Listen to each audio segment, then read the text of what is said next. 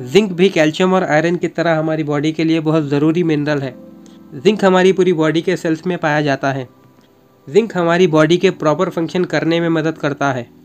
Zinc हमारे immune system को proper functions करने में स्किन को हेल्दी रखने में, ज़ख्म को जल्दी भरने में मदद करता है। इसके अलावा जिंक से हमें proper digestion physical development stress level को मेंटेन करने में जिंक से ही मदद मिलती है। जिंक टेस्ट और स्मेल की भावना को बनाए रखने में मदद करता है। जिंक के प्रॉपर कंजप्शन से हमें एक्ने और पिंपल्स भी कम होते हैं। जिंक एक एंटीऑक्सीडेंट के रूप का कार्य करता है। हमारी बॉडी की करेक्ट डेवलपमेंट के लिए जिंक बहुत ज़रूरी है। मेडिकल एक्सपर्ट्स के अनुसार जिंक से डायबिटीज़ जैसी खतरनाक बीमारी सही हो सकती है।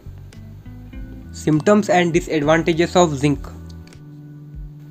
zinc की कमी शरीर की इम्यूनिटी को कम कर देती है, जिसकी वजह से निमोनिया खांसी, सर्दी आस्थमा आई प्रॉब्लम बाल का झड़ना, भूख ना लगना टेस्ट और स्मेल का महसूस ना होना, जख्म जल्दी ठीक ना होना एक्ने और पिंपल्स और कई सारे इन्फेक्शंस होने की संभावना बढ़ जाती है।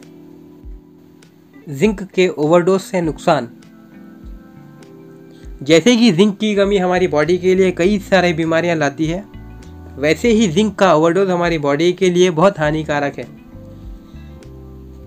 जिंक के ओवरडोज से पेट दर्द, मतली, मुँह में जलन जैसे साइड इफेक्ट्स होते हैं।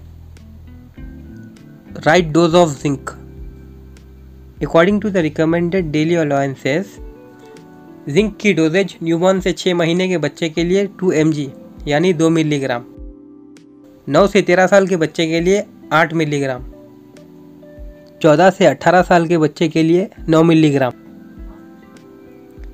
मेंस में उन्नीस से पचास साल के लोग के लिए ग्यारह मिलीग्राम। वुमेन्स में उन्नीस से पचास साल के लोग के लिए आठ milligram. Thanks for watching please do like share and subscribe and don't forget to click the bell icon and never miss an update from Brainy Zone